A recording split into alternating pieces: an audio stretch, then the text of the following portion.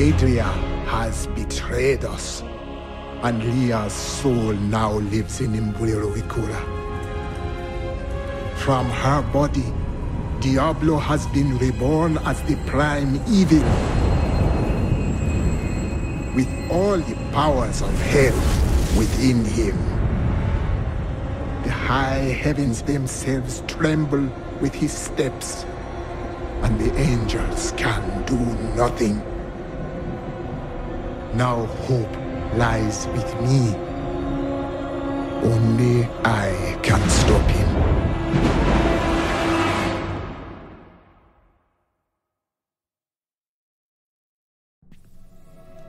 This devastation defies all reason. Imperius, you cannot mean to face Diablo again. Your wounds are barely healed.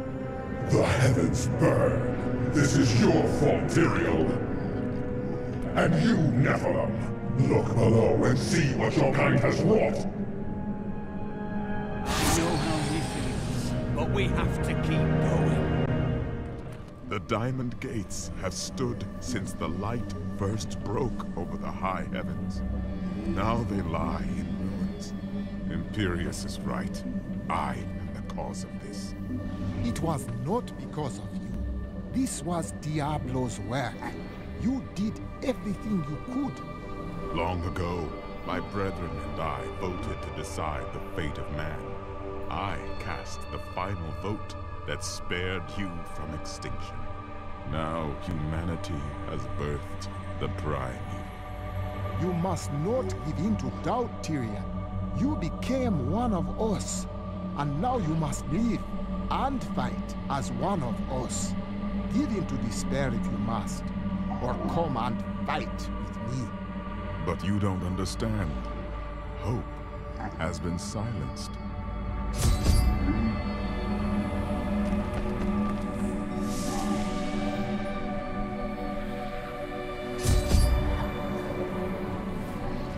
Gaze upon the destruction I have wrought. It will be the last thing you see. Iskatu, destroy the Nephilim. I do not fear you, Nephilim. You'll find only death in this eternal